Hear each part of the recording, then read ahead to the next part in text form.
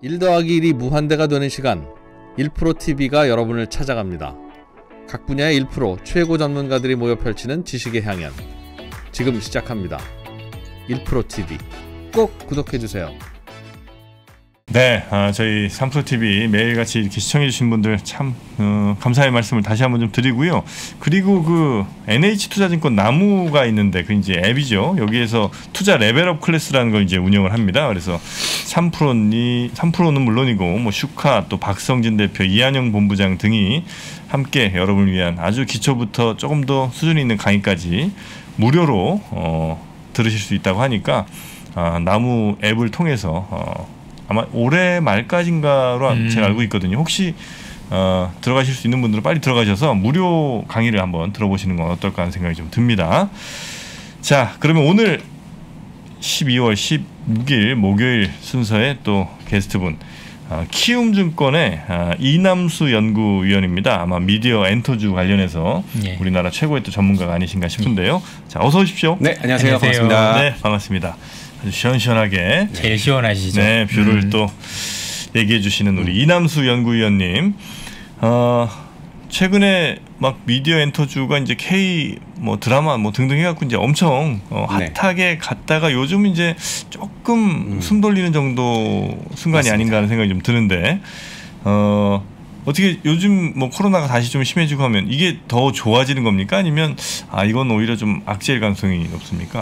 어, 시간을 일단은 네. 우리가 한 11월 1일 그날이 음. 무슨 날이냐면 위드 코로나를 시행한 날이에요. 음. 그러면서 사람들이 이제 밖으로 나오기를 시작을 했죠. 네. 그렇다 보니까 당연히 디지털 콘텐츠에 대한 수요는 떨어질 수밖에 없는 상황에 음. 들어섰습니다. 근데 음. 그때도 K 콘텐츠가 계속 잘 나가던 시절이거든요. 네. 11월 달에 넷플릭스 개봉했었던 음. 뭐 지옥 이런 것들이 올라가는 그, 그런 준비 과정에 음. 있었던 시기예요. 음. 주가가 좋았다가 한 11월 중순부터 빠지기 시작합니다.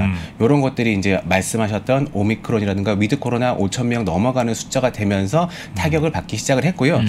음. 어, 올해 한 해 1년 한번 돌아보면 음. K 콘텐츠한테는 굉장히 행복한 해였고요. 음. 그 행복함이 또 메타버스라고 하는 어떤 되게 그 선진적인 테마를 하나 잘 음. 만나가지고 폭발을 음. 했었는데 저는 그렇게 생각합니다. 미디어는 OTT를 중심으로 한 구독 서비스는 쉽게 깨지지 않는다. 왜냐, 음. 이거는 단골 서비스이니까. 음. 그리고 엔터는 콘서트가 부활을 했습니다. 콘서트는 음. 여전히 에이스고요.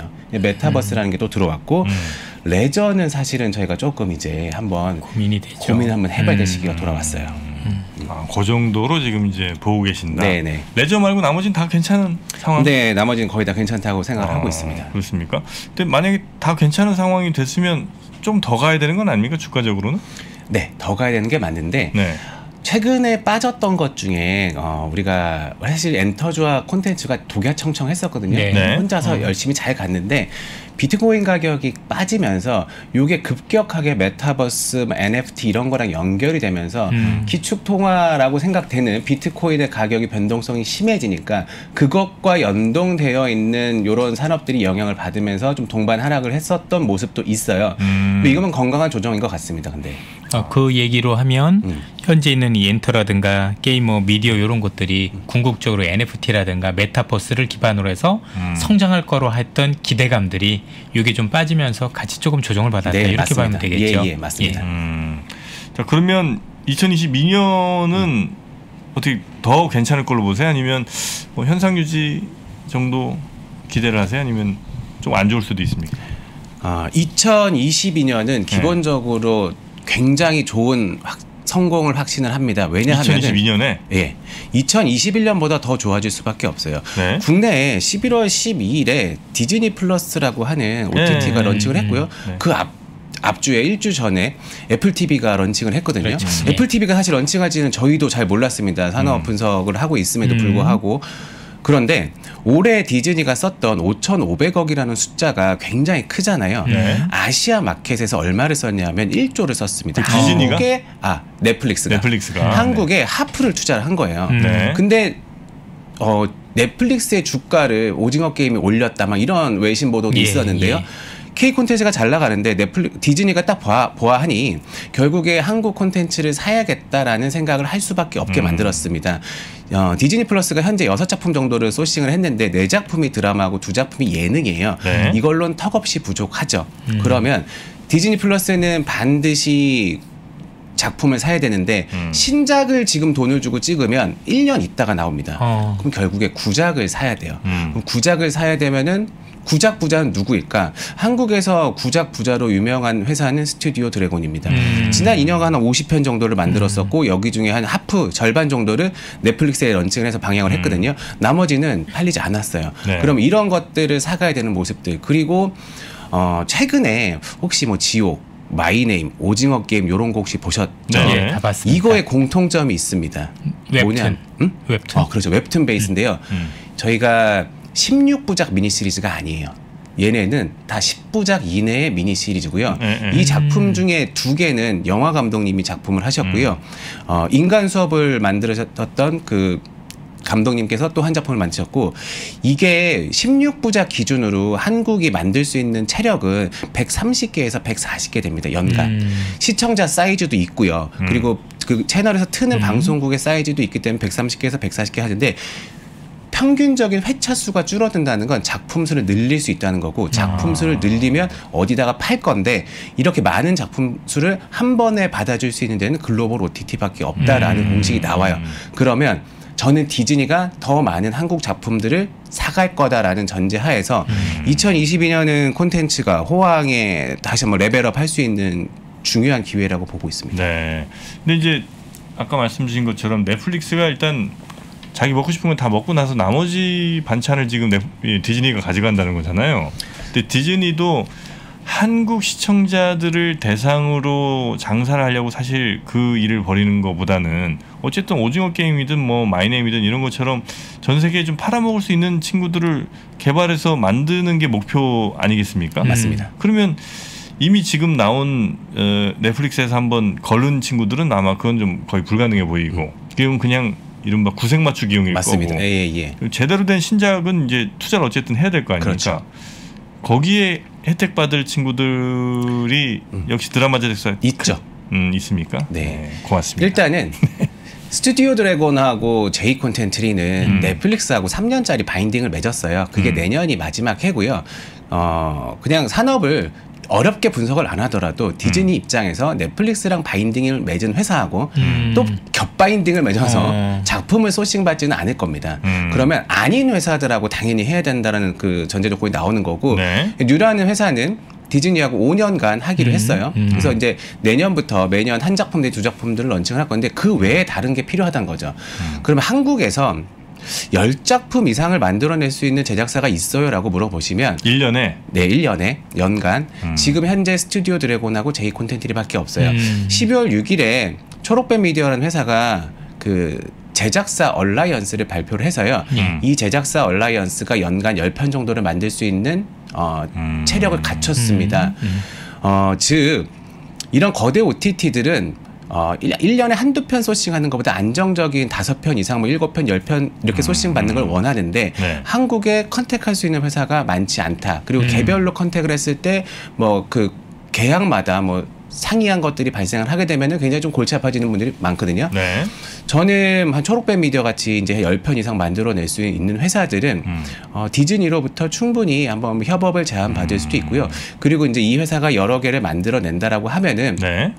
이 회사도 TV 편성에 제한이 있는 반면 음. 이걸 또 OTT로 넘겨야 되는 문제도 직면을 하게 됩니다. 음. 그렇다라고 보면은 어, 일단 수많은 제작사가 디즈니라든가 넷플릭스로부터 러브콜을 받겠지만 많은 사이즈를 제작할 수 있는 회사들한테 조금 더 유리하지 않을까 보고 네. 있습니다. 아니면 혹시 영화 제작사들도 사실 뭐 영화를 만들었지만 뭐 드라마 만드는 것도 얼마든지 할 수 있을 거 아니에요. 그렇죠. 그럼 그런 회사들을 차라리 디즈니 입장에서는 큰 드라마 제작사 어떻게든 하나 비싼 돈 주고 들어가는 것보다 그런 조금은 작더라도 1년에 한두 개 만들 수 있는 회사들을 뭐한 10개, 20개 이렇게 계약을 맺는 게 오히려 더 낫지는 않습니까? 그렇진 않나요? 음, 저희가 이제 quality라는 걸 한번 생각을 한번 음, 해봐야 돼요. 그러니까 최근에 이제 지난주에 종영을 했죠. 이제 네. 그 지리산이라는 드라마가 종영을 했는데 음. 뭐 컴퓨터 그래픽이라든가 VFX가 좀 혹평을 받았었어요. 네네네. 네, 네. 결국 quality가 안 나오면 음. 글로벌 시청자도 외면을 하게 되어 있습니다. 제가 작은 회사들을 좀 뭐 안 좋게 보는 건 아니지만 음. 제작 사이즈가 큰 회사일수록 좋은 작품을 만들어낼 수 있는 가능성이 조금 더 높아지고 그 제작 음. quality를 맞춰줄 수 있는 가능성이 높아지거든요. 네. 그렇지만 또 이제 영화 산업에서 보면 영화 산업들은 어, 드라마 하우스처럼 음. 이렇게 이렇게 되어 있는 게 아니고 영화 감독님이 세우신 회사가 이렇게 하나씩 독립 제작 형태로 있어서 좀 사이즈가 음. 작습니다. 그래서 그런 것들을 일일이 contact하기가 조금 쉽지는 않고 근데 최근에 영화 감독님들이요. 드라마 와서 많이 찍고 계세요. 그러면서 네네네네. 네, 네, 네. quality가 굉장히 좋아지고 있고 기존의 드라마 감독님들이 찍었던 어떤 그런 관점이나 카메라 뭐 working 이런 게 좀 달라지면서 음. 색다른 어떤 재미를 선사하니까 영화 부분도 뭐 시도는 할 수 있으나 하지만 음. 근데 좀 사이즈가 작기 때문에 디즈니 입장에서는 일일이 contact하기는 네. 쉽지 않다. 음. 이제 중요한 건 그런 양질의 콘텐츠를 제공해주기 위해서 가장 중요한 게 원작일 텐데 맞습니다. 음. 그 양질의 원작들을 우리가 이런 글로벌 메이저 업체들랑 OTT 업체들한테 줄 수 있을 만큼의 음. 그런 것들이 지속적으로 가능할까요? 네. 그러니까 우리가 이제 드라마 시장이 음. 성장을 했을 때 무슨 음. 얘기를 했었냐 하면 우리가 creator를 되게 많이 보유하고 있습니다라는 예. 것들을 제작사들이 얘기를 했어요. creator가 두 종류가 있죠. 어, 원천 IP를 음. 만들어내시는 음. 작가분들이 음. 계신 거고 요거를 찍는 PD나 감독님들이 계신데 작가분들의 체력은 대략적으로 2년에 한 편 정도를 드라마를 만들 수 있는 그 음. 시나리오를 쓰실 수 있다고 합니다. 음. 근데 그런 대형 작가분들뿐만 아니라 어, 중견 작가분들 이미 대부분이 다 소속이 되어 있어요. 그러니까 본인들이 그 감독님의 숫자 맞춰서 비례해서 그런 작가분들을 음. 다 많이 다그 스카웃을 해서 모셔놓은 상황인 거고요. 최근에 아까 말씀하신 웹툰이 있어요. 웹툰 기반으로서 우리가 뭔가 작품을 만들어낸다는 거는 음. 기존의 팬덤을 음. 확인하고 넘어가고요. 그리고 우리가 소설에서 상상력을 발휘해서 어떤 시각화를 하는 거하고 음. 이미 웹툰은 시각화가 되어 네, 있는. 상황이기 때문에 음. 표현이 어, 조금 더 빠르게 자유롭게 나올 수 있는 장점들이 또 음, 있습니다. 근데 음. 우리나라 웹툰 어, 웹툰은 이제 우리나라에만 또 있는 고유한 무, 문화잖아요. 예, 예. 어, 이런 부분들은 저는 그 원작 IP의 부족을 걱정하시지 않을 만큼 충분히 음. 많이 나올 수 있다라고 음. 생각을 하고 있습니다. 음. 근데 뭐 지금 이제 채, 채팅 창 좀 보다 보니까 음. 디즈니는 지금 뭐 자막도 제대로 못 따라갔고 네, 맞습니다. 네. 아주 뭐 엉망이다 이런 얘기들도 좀 있기는 음. 있는 것 같은데 어, 아마 이 투자가 뭐 앞으로 점점 늘어나면서 이런 건 좀 정상화는 되겠죠. 네, 그 그러니까 넷플릭스가 이제 우리나라에 들어왔었을 때 네. 넷플릭스도 겪었던 문제고요. 아마 디즈니도 음. 겪었을 텐데요. 음. 자막을 번역하는 번역가를 구하기가 굉장히 어려워요. 아, 그래요? 어떤 한 나라에 들어갈 때 예, 그래서 뭐 일군 번역 회사 를 쓰면 되지 않냐? 음. 아닙니다. 미군, 삼군, 뭐 아르바이트 생각 다 써서 번역을 해야 되는데 워낙 많아서 그렇죠 양이 네. 그러니까 콘텐츠 양이 많기 때문에 그런 문제 직면을 아마 했을 거고요. 이제 그런 음. 것들은 서비스가 개선이 되는 모습을 보여줘야 되고 근데 지금 사실 디즈니 플러스의 가장 문제점은 K 콘텐츠가 없기 때문에 말씀하신 대로 한국만 시장을 공략하자고 디즈니가 여기 들어온 건 음. 아니거든요. 네네. 다른 아시아의 시장, 미국에 있는 유럽에 음. 있는 시장 공략하려면 지금 단숨에 글로벌로 1등으로 치다를 수 있는 K 콘텐츠에 대한 어떤 그 음. 그 구매는 반드시 필요하다고 생각합니다. 네. 음. 그 혹시 이제 디즈니 뭐 넷플릭스 이제 워낙 이제 큰 글로벌 OTT들이고 음. 우리나라 회사들도 음. 뭐 웨이브도 있고 네. 뭐 티빙도 있고 네이버도 뭐 하는 거 뭐 많더라고요. 네네. 이 친구들이 다 각자 이제 열심히는 하겠지만 결국 이 플랫폼이라는 거는 한두 개 정도에서 거의 끝나지 않겠습니까? 사람들의 선택을 아, 그렇죠. 다 이게 대체로 이제 몰려서 받을 맞아요. 테니까. 미국에서 연구를 하시더라고요. 네. 멀티 OTT 퍼티그가 그 피로감이요. 네. 어, 몇 개에서 올까? 네. 한네 개 정도면 온답니다.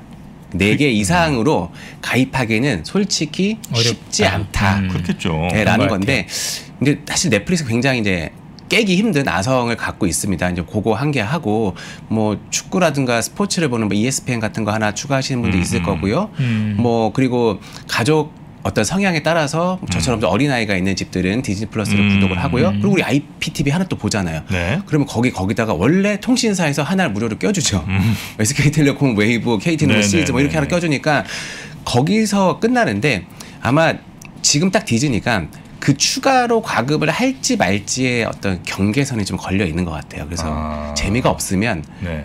어, 안 되는 상황으로 좀 온것 음. 같고요. 디즈니를 분석하는 날은 아닌데 디즈니 얘기를 좀 많이 하게 됐지만 어쨌든 네. 한국 콘텐츠를 디즈니가 많이 사갈 거는 굉장히 어, 합리적인 가정에 대한 추정이다. 음. 결국 디즈니가 그렇게 움직일 수 있다라는 얘기는 넷플릭스의 성공을 봤기, 봤기 때문에, 때문에, 결국 음. 우리나라 업체들한테 드라마 업체들한테 굉장히 호재가 될 호재죠. 수밖에 네. 없는 음. 계속 양질의 콘텐츠를 음. 제공해달라라고 그렇죠. 할 거고 그 과정 속에서 더 많은 돈을 주거나 음. 제작비를 올려줌으로 인해서 음. 우리나라 그 드라마 관련 기업들의 음. valuation 또는 이제 수익성이 개선될 수 있을 가능성 네. 이런 걸 염두에 둘 수 있겠네요. 아, 네 맞습니다. 예. 자 그리고 그러면 음. 어, 엔터 쪽은 좀 어떻습니까? 지금 뭐 하이브를 비롯해서 역시 뭐 주가들이 다 괜찮았던 것 같긴 한데 네. 하이브도 우리 나머지 엔터사들도 쫙 가다가 잠깐 또 여기도 주춤했죠. 네. 그 엔터에 대한 기대감은 저 음. 이제 한마디로 표현을 하자면 내년도에 에이스가 귀환을 합니다. 콘서트. 음. 그리고 차세대 에이스로 성장할 수 있는 메타버스라는 게 이제 엔터에 음. 붙었어요. 예. 음. 그 제가 그 엔터주 얘기를 하면서 그러니까 콘텐츠 얘기를 막 하면서 이렇게 음. 표현을 해드리면 근데 with 코로나는 언제든 언젠가는 해결이 될 문제거든요. 그렇죠. 네. 예. 근데 요거를 얘기하기 전에 우리가 음. 먼저 뭘 봐야 되냐면은 음. 글로벌로 팔린 앨범의 총량을 한번 봐줘야 됩니다. 네. 우리가 가온 차트라고 해서요, 그 공식적으로 집계를 해서 나오는 그 홈페이지가 있습니다. 우리나라 거예요? 네, 가온 차트. 네. 어, 뭐 해외로 몇 얼마 몇, 몇만 장이 팔렸는지는 구분을 안 해준대요. 음. 가온 차트 top 100. 그러니까 100위 안에 들었던 앨범이 2019년도에 총 합산을 해보니까 음. 2,100만 장이 팔렸어요. 음. 2021년 상반기까지 집계를 했거든요. 음. 2,050만 장이 팔렸고요. 어. 하반기로 넘어가면 4천만 장 넘길 것 같습니다. 와. 2000 작년엔요 3,500만 장 후반이 나왔어요. 음. 그럼 이렇게 앨범 콘서트도 못 가고 아티스트도 못 보는데 앨범을 왜 이렇게 많이 샀냐? 그럼 콘서트 안 간 돈으로 팬들이 그걸 샀지 않았을까? 음. 당연히 그런 수요도 있었을 거고요. 네. 근데 그게 아니까 지역의 차이가 있을 겁니다. 음. 음. 아마 2019년도 이전에 지역을 살펴보면 음. 한국이 한 3분의 1 정도 팔았고요. 중국으로 한 3분의 1 정도 팔았을 거고요. 음. 일본이나 미국으로 한 3분의 1 정도가 나갔을 거예요. 음. 그 비중은 크게 달라지지 않았을 겁니다. 음. 그러면 한국에 있는 케이팝 팬들이 음. 우리나라에서 앨범을 몇 장 정도 살 수 있을까? 저는 대략적으로 천만 장에서 한 천오백만 예, 장 예. 레벨을 구매할 수 있을 거라고요. 그러면 아까 사천만 장인 경우에 이천오백만에서 삼천만 장 정도가 해외에서 팔렸다는 음. 얘기입니다. 음. 근데 앨범 판매량을 얘기할 때요. 여기 앞에 초동이란 말을 하나 붙여야 돼요. 초동 앨범이 많이 팔리면 전체 앨범이 많이 팔립니다. 왜냐? 초동 앨범이 그 전체 앨범 판매량의 70%를 어. 차지해요. 음. 첫 주에 아니면 선주문에서 나가는 물량, 음. 찐팬의 물량이 70%란 거예요. 그러면 아까 3천만 장이 해외에서 팔렸으면 초동 판매량이 한 2천만 장이 된다라고 계산이 네네. 되거든요. 저는 초동 판매량의 10%가 콘서트에 들어올 수 있는 로얄 팬이라고 봅니다. 그럼 해외에서 200만 명 정도가 케이팝 아티스트의 콘서트, 를 음. 찾을 수 있는 잠재 고객이란 거죠. 근데 콘서트가 그럼 열릴까? 열렸어요. 이미 음. 열리고 있고 BTS 어, 매진했고요. 지금 네. 트와이스가 올해 연말부터 시작을 해서 내년 나가는데 이미 매진이 돼서 트와이스 LA, 어디예요? 일본? 어, 한국이랑 이제 미국으로 합니다. 미국 가요? 네, 그요 얘기를 왜 하냐면은 네. 해외 여행도 우리는 똑같아요. 해외 여행도 오미크론이 있기 전에 우리가 음. 괌도 가고 사이판도 갔잖아요. 음. 들어와서 자가격리가 없었습니다. 음. 받아주는 나라가 자가격리가 없으면 한국 사람들도 해외여행 갈 수 있어요. 네. 지금 미국이라는 나라의 상황이요. 콘서트를 엽니다. 자국 가수도 열고 해외 가수도 열 수 있어요. 음. 왜냐 거기서는 뭐 어, with, with 코로나 우리가 훨씬 더 먼저 음. 시행을 했고 그거에 대해서 제한이 없는데 어, 해외 나가서 그렇게 많이 팔린다라고 하는 거는 뭐냐. 일단 ticket price가 한국보다는 조금 더 상향되고요. 음. 그리고 MD라고 하죠. MD는 음. 마진율이 굉장히 좋아요. 근데 한국에 있는 팬들은 자주 만나니까 음. MD가 외국 팬들보다는 좀 덜 삽니다. 근데 외국 음. 팬들은 다시 만나기 좀 쉽지 않은 상황이니까 MD 구매가 굉장히 폭발적이에요. 음. 그런 게 딱 하나가 있고 2020년하고 2021년도에 우리나라가 오프라인 콘서트를 못하면서 언택트 콘서트라는 거를 시행을 했었죠. 네. 마지막 회차는요 음. 언택트 콘서트로 풀어줍니다. 그러면 여기에 못 왔었던 사람들 내지는 저기 음. 어디 한국에서 아니면 일본에서 뭐 다른 유럽에서 시청하는 사람들이 언택트 콘서트 들어와서 음. 거기서 시청을 하게 돼요. 콘서트가 과거에 단순히 ticket price 곱하기 몇만 명 곱하기 MD 더하기 MD 이게 아니고 음. 그런 거는 기본적으로 된 거고 여기 언택트 콘서트까지 얹어지기 때문에 훨씬 더 출중해진 모습들을 우리가 볼 수 있을 거고요. 음. 200만 정도 감안하면 아마 BTS가 굉장히 인기가 많으니까 한 3, 40%를 팬들로 가져갈 거예요. 근데 네. 10만 명 정도를 해외에서 모객을 할 수 있으면 그 수익이 대략적으로 음. 300억을 넘어가게 됩니다. 어. 그럼 그런 팬 그런 아이돌을 들고 있는 회사들 음. JYP는 당연히 트와이스하고 스트레이키즈가 아마 가능할 거고요. 음. 뭐 아까 BTS가 당연히 그만큼 많이 가지고 갈 네. 거고 세븐틴 잘될 거고 SM은 NCT가 이제 글로벌로 너, 넘어가고 있으니까 SM도 굉장히 좋은 모습을 보여줄 거예요. 음. 어, YG는 블랙핑크가 있고 이거는 콘서트는 그냥 어떻게 보면 그냥 케이팝이 이렇게 그냥 한 단계 모든 회사들이 다 level up 된다라고 음. 보시면 될 것 같아요. 그 앨범은 왜 사는 거죠? 앨범은 이제 CD죠? 그죠 CD. CD 근데 플레이어도 없지 않나요 요즘에? 아 그 앨범을 왜 사냐 하면은 네. 음, 그 앨범 안에 뭐 포, 요즘에는 앨범만 딱 주는 게 아니고 포토북이랑 포토카드를 같이 줘요. 음. 그리고 그런 것들을 일정 개를 모아야지만 다음번에 뭔가를 응모할 수 있는 기회가 주어진다거나 그래서 한 개를 사는 게 아니고 2019년인가요? 20년인가요? 맞아요. 미국에 되게 굉장히 그 재미난 통계치가 하나 나왔었는데요. vinyl 앨범 혹시 아십니까? 음? vinyl 앨범이 뭐냐면요. 레코드판이에요. 네, 그 비닐 앨범. 음. 어. 아, 그거를 뭐 미국에서는 vinyl 앨범이라고 네, 하는데요. 네. 그 레코드 판이요. 네. 2019년일 텐데 CD보다 많이 팔렸습니다. 요즘에 턴테이블 있는 집 없죠. 없죠. 그냥 그 정말 장식용이에요. 근데 CD보다 많이 팔렸어요. 그러니까 요즘에는 그런 시대가 왔기 때문에 이걸 fandustry라고 하잖아요. 그 내가 내 아이돌을 내 스타를 내가 키웠다라고 하는 어떤 굉장한 자부심을 갖고 있기 때문에 음. 뭐 BTS의 아미 굉장히 결속력 높은데 그런 측면에서 fandustry 측면에서 접근 한번 해보면 왜 사는지 알 겁니다. 예, 하여튼 뭐 많이 한다고 최근에 하니까. 근데 이거를 중국에서 좀 많이 금지를 했잖아요. 네네. 이렇게 앨범을 여러 장 사고 그런 어, 그렇죠. 것들에 대해서 음. 많은 금지를 내렸는데 네. 이런 점들이 사실 그 우리 엔터 업종에 미치는 부정적인 영향은 없겠습니까? 당연히 있죠. 당연히 음. 있는데 음. 지금 엔터테인먼트 회사를 운영하시는 어떤 뭐 회사 사장님이시라든가 음. 그런 업계분들을 만나서 질문을 해보면 음. 이미 중국이라는 시장은 너무 불확실성이 크기 때문에 음. 우리의 전략에는 없어가 어. 대부분이 답입니다. 예. 중국이 다시 터져서 좋아지면 완전 thank you인 거지. 거기를 뭔가를 목숨 음. 걸고 나갈 필요가 없어졌어. 왜냐? 음. 우리 K 콘텐츠가 미국에서 유럽에서 히트 치는 것처럼 우리가 일본이란 굉장히 탄탄한 시장을 하나 갖고 있죠. 그리고 어 미국이란 시장이 굉장히 지금 BTS를 통해서 많이 크게 열렸어요. 음. 그렇다 보니까 중국은 다시 열려서 어, 추가적인 어떤 기회가 있거나 하면 굉장히 thank you인 상황이 되긴 하겠지만 음. 거기에 목을 매는 상황은 아니니까 네. 중국에 대한 리스크는 크게 고민하실 필요는 없고요. 그리고 대부분이 다 한국에서 직구라 거기 뭐 QQ Music이나 이런 데서 잡히는 아, 거하고는 예. 또 다른 얘기가 됩니다. 음. 음. 혹시 그 뭐 전망 다 좋은 것 같고요. 미디어도 네. 그렇고 엔터도 다 좋은 것 같은데 음. 어, 지금 어, 이른바 뭐 valuation이라고 해야 될까요? 네. 그게 너무 많이 올라와 있지는 않습니까 혹시 그 버는 아, 이익에 비해서? 어, 저는 그렇게 보진 않은데 메타버스로 슈팅을 받은 기업들은 사실 좀 저희가 valuation 하기는 좀 쉽지 않고 지금 음. 가격대가 충분히 들어갈 수 있는 가격대냐라는 거는 고민을 좀 한번 해봐야 되는데요. 음, 네.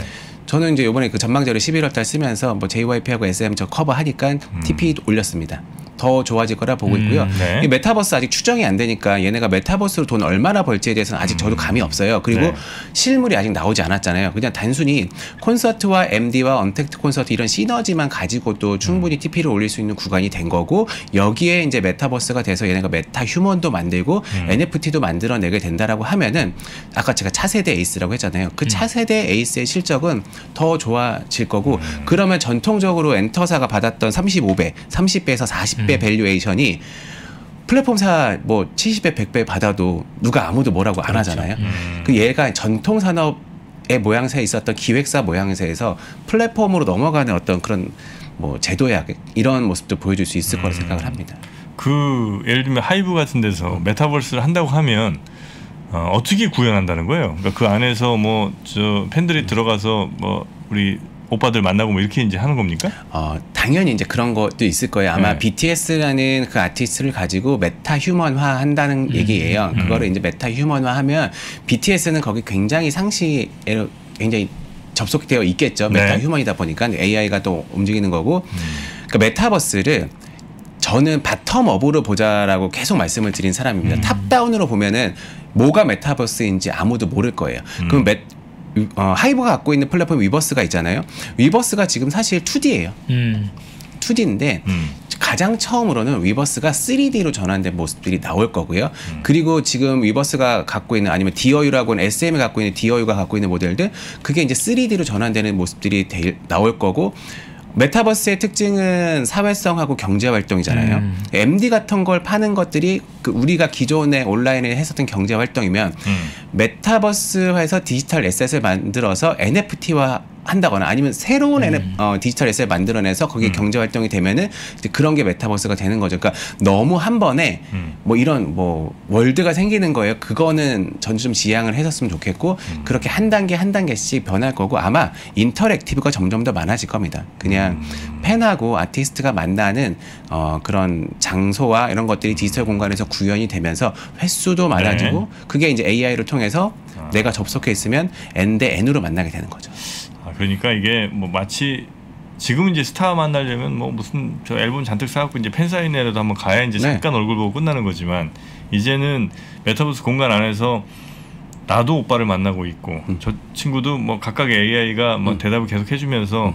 그 목소리 혹은 뭐그 어 뭐 뭐 텍스트가 됐든 그렇죠. 뭐가 됐든 이렇게 일대일로 만나는 세상을 이제 구현을 해주겠다 이런 거거든요. 근데 그게 이미 서비스가 나왔습니다. 아. SM 자회사로 디어유라는 회사가 디어유. 있는데요. 네. 얘가 만, 얘, 어, 이 회사가 만든 게 버블이라는 서비스예요. 네. 그래서 만약에 그 버블이라는 서비스 잠깐 설명드리면은 그 만약 제가 이제 에스파 팬, NCT 팬이다. 음. 그러면 에스파? 어, 에스파 팬이다. 에스파는 카리나입니다. 그렇죠. 카리나 네. 씨가 이제 버블을 굉장히 많이 하는 그 아티스트로 유명한데요. 버블? 네, 버블. 4,500원이니까 한번 가입해 보시면 좋을 것 같아요. 그래서 그 카카오톡을 하는 거예요. 그 카리나 씨한테 그 카카오톡을 보내면 카리나 씨가 답변을 해줍니다. 네. 그렇죠. 그게 그게 한 달에 4,500씩 내고요? 네, 월 구독.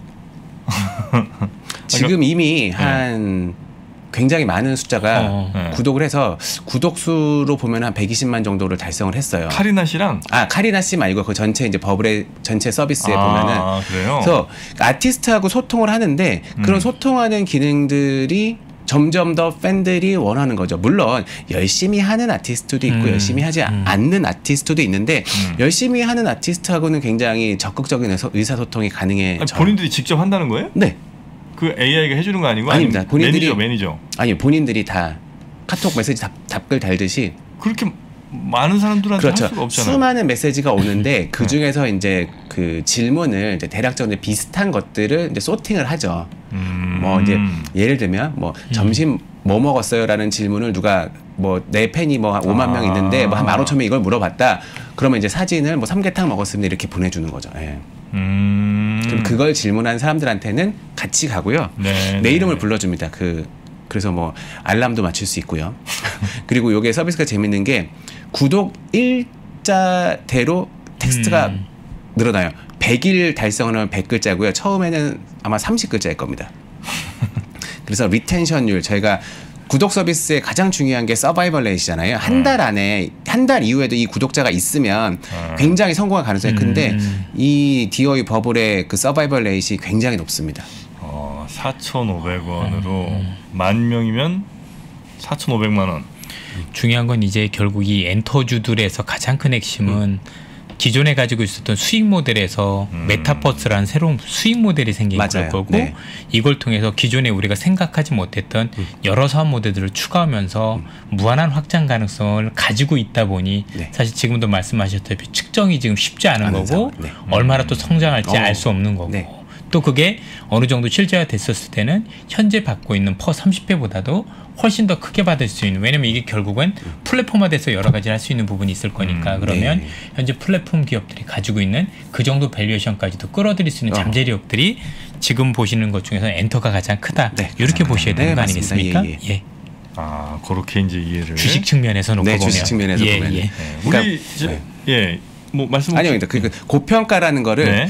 엔터주는 너무 두려워할 필요는 살짝 그러니까요. 없는 것 같아요. 예, 예. 그게 핵심이죠. 그러면 우리 이남수 연구위원께서는 어떤 회사를 뭐 리포트 쓰셨을 테니까 네. 어떤 회사를 가장 괜찮게 보고 계신지 음. 그 이유도 같이 좀 얘기해 주시면 좋겠습니다. 네, 네 타픽하고 이제 투자 전략 말씀드려 보면 이제 엔터에서는 제가 계속 말씀드렸던 SM, SM은 음. 왜냐하면 NCT라는 그룹이 글로벌로 넘어갔고요. 제가 음. 아까 10만 명 정도를 모, 모객을 하면 대략적으로 그 정도의 이제 수익을 올릴 수 있, 있다라는 거 하고 말씀을 드렸다시피 NCT가 굉장히 많이 성장을 했고 에스파가 어 다른 걸그룹 이제 신인 음. 걸그룹 중에서 굉장히 폭발력이 있고요.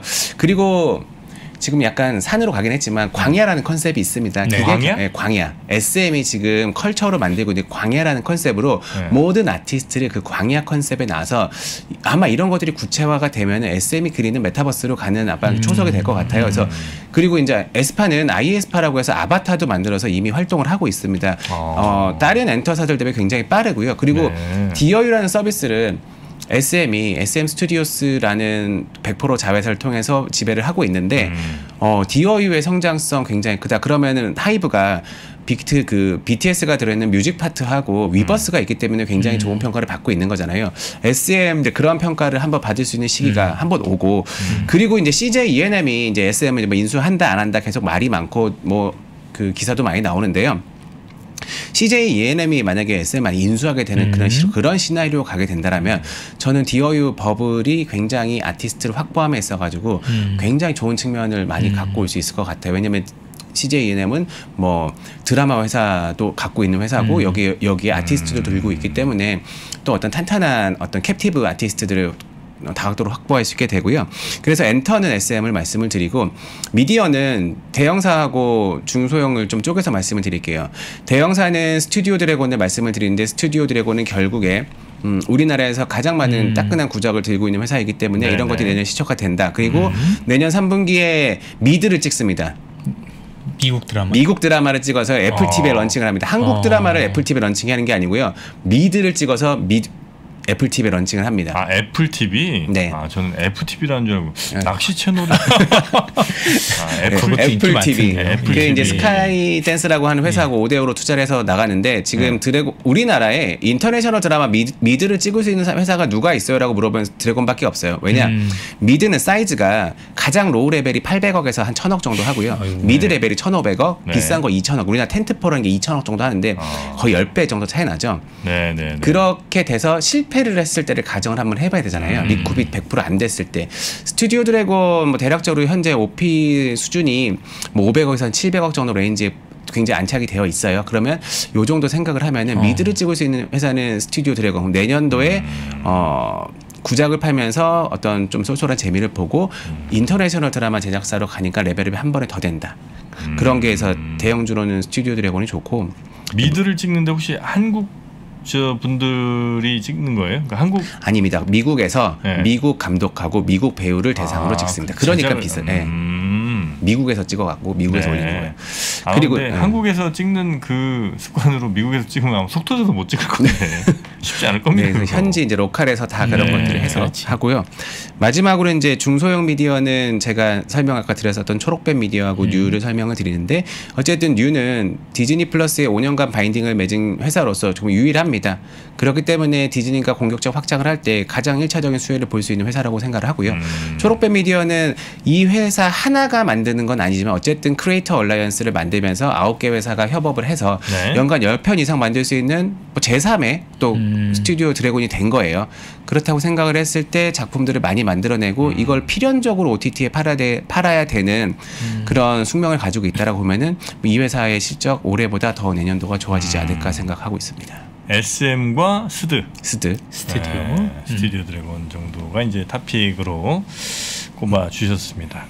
아 엔터주는 그 예전보다는 확실히 조금 뭐랄까요 그 리스크는 조금 줄은 것 같아요. 예전에는 뭐 전 투자도 잘 안 했습니다만 뭔가 이렇게 소속사 소속 연예인 하나가 잘 나간 연예인 하나가 뭐 음주운전이다 아, 네. 아니 뭐 무슨 성매매다 이런 거 하나 터지면 마약 터지면 네. 거의 이제 한 한가 몇 개월 그냥 그것도 그랬지만 박살이잖아요. 저 이제 친구도 그 제작사 그런 쪽에 있었었는데 네. 좀 많이 안타까웠어요. 구성원들도 좀 많은 문제가 있었었고 네. 요즘 뭐 좀 그렇진 않죠. 예, 예전보다 예, 예. 확실히 좀 그런 네, 그, 그 거는 백스테이지 리스크에 대한 거는 네. 제, 그러니까 아이 데뷔를 시킬 때부터 철저하게 좀 관리를 하고요. 음. 요즘에 뭐 이제 학폭 이런 거 굉장히 막 관심 사람 많잖아요. 그래서 그런 것 이제 네. 그래서 이제 철저한 검증을 하는데 다 검증은 못하지만 어쨌든 간에 네. 그래도 어, 연습생 생활을 좀 오래 하다 보니까 그래도 이제 같이 커 나가면서 음. 그런 것들이 좀 확인이 되거든요. 과거에는 음. 그런 거 없이 뜬금없이 뭐 길거리 음. 캐스팅이라든가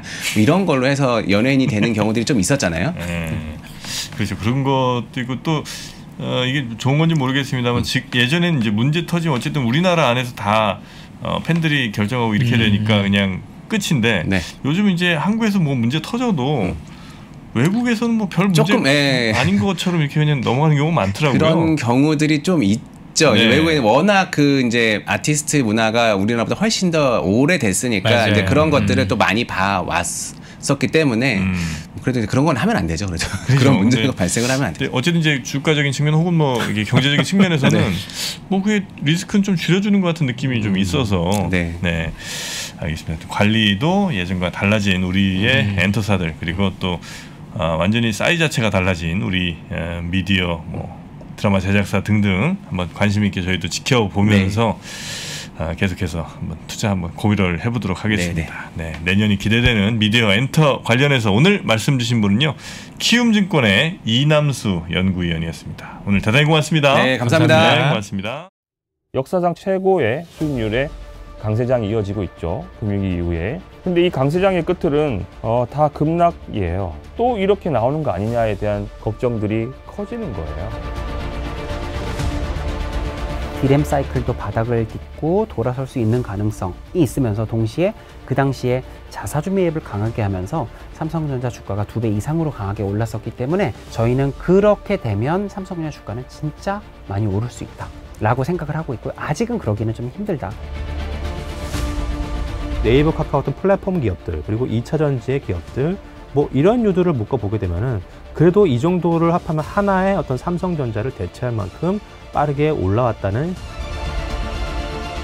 어, 명품이 백화점에서 구조적으로 성장해주는 유일한 품목이기 때문에 신세계의 고성장이 굉장히 눈에 띄었던 해였습니다. 지금 보는 이 가치평가 프레임이 네, 붕괴한다라고 생각하는 거고요. 가치평가 프레임의 붕괴라는 것은 쉽게 얘기하면 기존 산업이 붕괴하는 것을 의미한다라고 저는 생각을 합니다. 내가 주식을 능동적으로 분석하고 끌고 가야 되는 거지 끌려다니는 것만큼 음. 스트레스를 받는 게 없고 에너지가 소모되는 게 없거든요.